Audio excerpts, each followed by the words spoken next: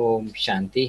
प्रजापिता ब्रह्मा कुमारी सूर्य विश्वविद्यालय में आज एक बार फिर भारत के कोने कोने से हमारे दिव्य आत्माएँ हमारे साथ जुड़ चुकी हैं। आइए, हम चलते हैं आशाम पद्मा बहन ओम शांति। मुझे जो टॉपिक मिला है, वो है सत्यता। सत्यता के ऊपर कई सारे प्रसिद्ध कहावतें हैं। जैसे बाबा भी बोलते ना कि सच्चे, सच्चाई की नैया हिलती है, डुलती है, लेकिन डूबती नहीं है। हमारा जो भारत का नेशनल एम्बलम है, उसमें भी लिखा हुआ है, सत्यमेव जयते, यानी कि सत्य की ही जीत होती है। और सच्चाई कभी छिपती नहीं है, ये भी कहते हैं। और कुछ लोग ये भी कहते हैं कि सच्चाई बहुत कड़वी होती है मतलब उसमें मिठास नहीं होता है। और सत्यता की खोज में कई लोग कई लोग मतलब आगे बढ़े। मतलब सत्य क्या है? जैसे कि जेसस क्राइस्ट ने भी ये बात कहा है कि गॉड इज़ वन।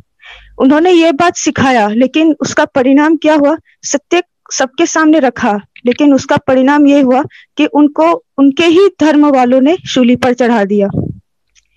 दूसरी बात है सोक्रेटिस। सोक्रेटिस इतिहास का वो पहला व्यक्ति है जिसने जिसने आत्मा का ज्ञान दिया और उन्होंने इस बात पर फोकस किया कि अपने आत्मा की उन्नति के बारे में सोचना है। लेकिन उसका भी परिणाम क्या हुआ कि उनको विष विष पिलाकर मार दिया गया। उसके बाद हमारी जो ये संस्था है, प्रजापिता ब्रह्मा कुमारी ईश्वरी विश्वविद्यालय, जिसकी स्थापना स्वयं मतलब स्वयं सत्यम शिवम सुंदरम ने की है। है ना? सत्यता के बल पर इस यज्ञ की स्थापना हुई है। तो जिस यज्ञ की स्थापना से पहले ब्रह्मा बाबा, जिनके तन में शिव बाबा आते हैं, उनको लोग कितना प्यार करते थे, सम्मान देते थे, जब वो व्यापारी अपने धंधे में थे, कितना प्यार, सम्मान, सब कुछ उनके लिए था, ठाठ बाट। लेकिन क्या हुआ, जैसे ही वे सत्य की राह पर आए, उनको भी बहुत कुछ सामना करना पड़ा। पिकेटिंग की, घेराव किए, सब कुछ किए, लेकिन किसी को जाने ही नहीं दिया जाता था। अगर हम इतिहास पढ़े ना, ब्रह्मा बाबा को जीवन को पलटाने वाली अद्भुत कहानियाँ, उसमें बहुत कुछ ऐसे घटनाएँ देखने में आती है। कोर्ट में केसेस हुए, सब कुछ हुआ, लेकिन फिर भी आज इस वर्तमान समय में एक छोटी सी संस्था इतना बड़ा वटवृक्ष के रूप में ले लिया, जो कि 140 से भी अधिक देशों में इनके ब्रांचेस खुल गए हैं। इसी को कहते हैं सत्य की नैया हिलती है, डुलती है। बहुत सारी परिस्थितियाँ आई, लेकिन ये डूबी नहीं। और आज तक भी ये बढ़ता ही जा रहा है, हमारा परिवार बढ़ता ही जा रहा है। इसे कहते हैं सत्य की शक्ति। और परमपिता परमात्मा क्यों आए हैं इस धरा पर? सत्य की दुनिया स्थापन करने, जिसको हम सत्ययुग कहते हैं। सबसे पहला सत्य ज्ञान उन्होंने हमें क्या दिया कि आप एक आत्मा है। है ना? आत्मा है ही संपूर्ण सत्य। जब जब हम देह भान में आते हैं, तब तब हम असत्य हो जाते हैं, क्योंकि देह तो क्या है? परिवर्तनशील है।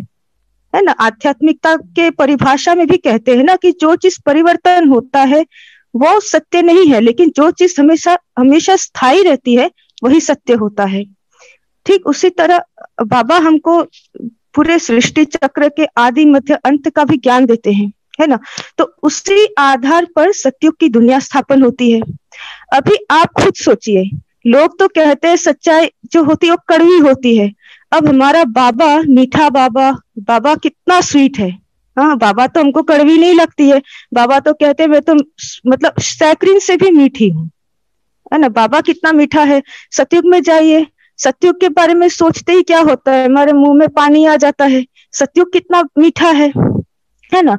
और आप एक बात ये सोचिए अगर हम सभी अभी भी आत्माभिमानी होकर स्थिति में समान की स्थिति में जो भी कर्म करते हैं तो लोगों को कितना अच्छा लगता है है ना? सामने वाला भी आत्मा है मैं भी आत्मा हूँ मैं भी प्रेम स्वरूप हूँ भी सुख स्वरूप है कितना अच्छा लगता है। वो उस समय जो होता है आभास तो हम कैसे कह सकते हैं कि सत्य कड़वी होती है? हम्म, नहीं कह सकते हैं। और इसीलिए बाबा को भी क्या पसंद है? सच्चाई और सफ़ाई। और जो जितना सच्चाई, सफ़ाई से इस ज्ञान मार्ग में चलते हैं और उनको सत्युग में भी पद उसी अनुसार मिलता है। क्योंकि सत्युग जो लाना है, उसका बेसिस ही है सच्चाई। पवित्रता जो होता है ना, पवित्रता का ये फ़र्स्ट स्टेप है। मतलब पवित्रता तो एक लक्ष्य है, लेकिन उसको, उस तक पहुँचने के लिए पहला लक्ष्य है सच्चाई। और इसके ऊपर इलेवेंथ दिसंबर 1991 में अव्यक्त बाप दादा की एक मुरली चली थी। उसमें बाबा ने कहा था सत्यता की सभ्यता ही रॉयल्टी है। और उसमें भी बाबा ने बोला था कि सच्चाई जो सच, आत्मा सच्चे होते हैं उसकी निशानियाँ क्या होगी? तो पहला नि, पहली निशानी जो बाबा ने बताई थी कि सच्चाई जो सच्चे लोग होंगे उनके अंदर बाहर दोनों एक समान होंगे। कभी कभार ऐसे होता है कि ना मेरा भाव ऐसा नहीं था लेकिन मुँह से निकल गया। है ना? तो ये, ये नहीं होता है। उनका भाव जो होगा वही मुख से बोल निकलेंगे। और दूसरे जो निशानी थे, उन्होंने ये बताया था कि वो कभी भी किस, अति प्यारे और अति मतलब किसी के भी अटैचमेंट में नहीं आएँगे, है ना? उनका स्नेह सबसे होगा, लेकिन अटैचमेंट नहीं होगा।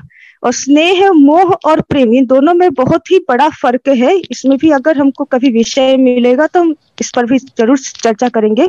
बहुत सुंदर। और तीसरी? जी। ओके ओम शांति। पदमा बहन आपने बहुत ही अच्छी तरह से अपना वक्तव्य रखा।